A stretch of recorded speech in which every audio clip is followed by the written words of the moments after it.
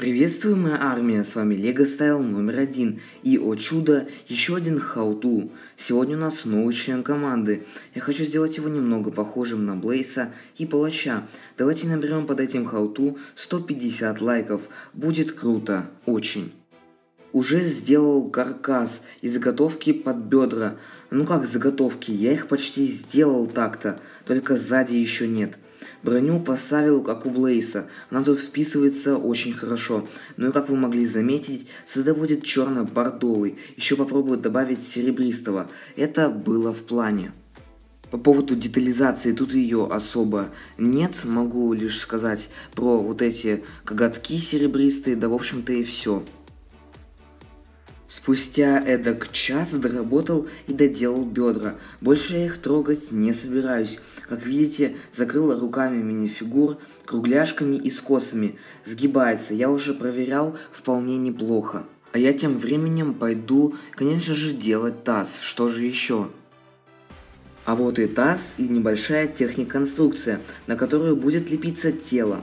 Таз, как видите, бордовый. Такую деталь еще не использовал. Кстати, что касается спины, дробаши, как я их называю, вошли идеально. Еще прикрыл клыками. Едем дальше. Как я говорил в хауту с палачом, тело таких СД, то есть сложных, я не показываю по двум причинам. Первое, я хочу избежать плагиата конструкции. Второе, это ну очень сложно. Я делал кучу вариантов, тысячу раз переделывал, поэтому затянулось бы это все на минут 20. Кому это надо? Никому. Голову поставил от скрала, в глаза вставил огонь. Вообще у меня идея полностью обвесить его огнем для эффектности. Тело спереди очень детализированное получилось, куча э, кисти минифигурок и злых роботов. Также мой любимый скос сюда хорошо встал. Сбоку и сзади ничего особенного, разве что могу отметить то, как закрыл тело сверху. По-моему, эти топоры отлично сюда вписываются. Ладно, я пошел придумывать дальше. А вы не скучайте тут. Начал делать руки, пока соорудил конструкцию из техника на основе той, что была у палача, но пытался не копировать ее точь в точь, то есть полностью. Кстати, да, пока тут все отлично гнется. Сейчас вам это и демонстрирую, как вы можете заметить. Хочу не перегружать конструкцию, чтобы все так и осталось в плане подвижности. Вот и кисть подъехала. На мое удивление, обнаружил у себя громадное количество бордовых пальцев. Вообще не знаю, откуда у меня их так много. Как раз в тему, ибо моя самоделка бордовая. Ну как бордовая? Бордового, конечно, в ней мало, но я стараюсь его добавлять по максимуму. Все, рука готова. Правда, еще хочу добавить огня немного. Сейчас пойду его искать. Именно мне нужен красный. Он, по-моему, выглядит более лампово, что ли. Если так можно выразиться, две огненные руки готовы. На вторую, как видите, тоже прицепил это классное украшение. Теперь что делать с руками? Правильно, примерять их на самоделку и смотреть, классно это выглядит или нет. Так это смотрится на самоделке. По-моему, очень даже ничего. Мне нравится. Прикрепляем вторую руку. Блин, упала деталь. Она тут совсем не держится. Не знаю почему. Вот две руки, другое дело. Встали как влитые. И вот буквально заготовочек, состоящий из пары деталей. Пойду обращу вот это вот в нормальную голень. Заменил уже цвет на черный и добавил обвеса.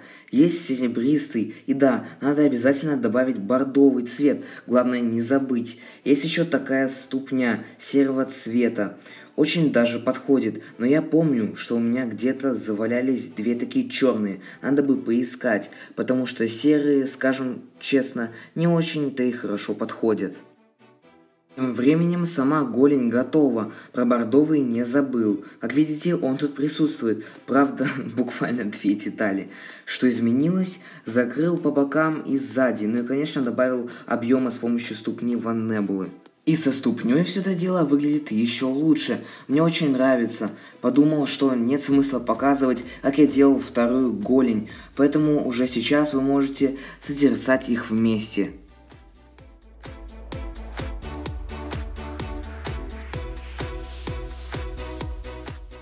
Самоделка практически готова. Все элементы прикреплены. Получился Ялгар весьма устойчивым. Да, это его имя, но мне кажется, что ему не хватает оружия. Еще я придумал, что он у меня будет воин и маг, поэтому я пошел делать ему всякие прибамбасы. Ладно, это рахи-оружие. Сейчас вы все поймете. И не надо на меня так косо смотреть, мол, каким местом это похоже на рахи вообще. Да, я сделал э, его, а именно летучую мышь весьма условно, но мне просто хотелось придумать оригинальный способ для хранения клинков. Крылья мышки могут отсоединяться и превращаться в клинки. Это вы увидите в конце видео.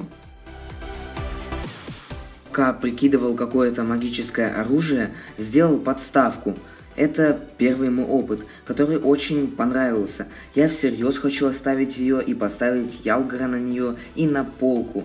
Благодаря тому, что я купил когда-то давно черепного лорда-паука э, во втором экземпляре, подставка вышла прозрачной в стиле персонажа. Сейчас я покажу вам, как он на ней стоит. Но прежде немного опишу ее.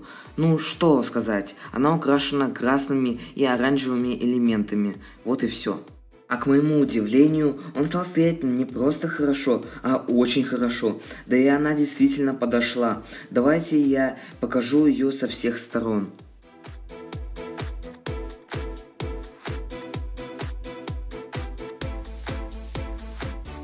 Следующую мышку вы видели, время магического оружия – это портал, из которого постоянно выходит огонь. Что это за прозрачные штуки рядом с ним, вы спросите? Я отвечу, что за них Ялгар и будет держаться. Появится имитация того, что он колдует, и портал висит в воздухе. Детали я эти взял из Чимы и украсил огнями, а прозрачные купил в Леголенде. Я думаю, вы все это помните. Смотрится впечатляюще. Портал подошел герою. В данный момент я покручу Бионикла еще раз, только молча, под музыку.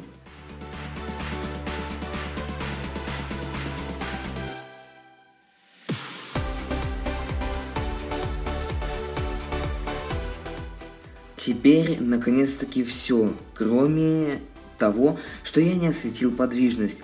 Что ж, ноги двигаются в бок, сгибаются в колени, и ступни также очень хорошо движутся. С руками такая же ситуация.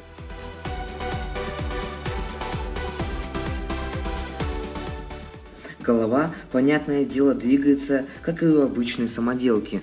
На этом все. Вот так закончился хауту на моего нового персонажа команды, Ялгара, мага и хорошего воина. Хотите больше самоделок? Давайте наберем 150 лайков. Я с вами прощаюсь. Далее, по обычаю, вы увидите фотосет с ним. С вами был Лего Стайл номер один. Старался и делал для вас данное видео. Всем пока и удачи. Смотрим фотосет.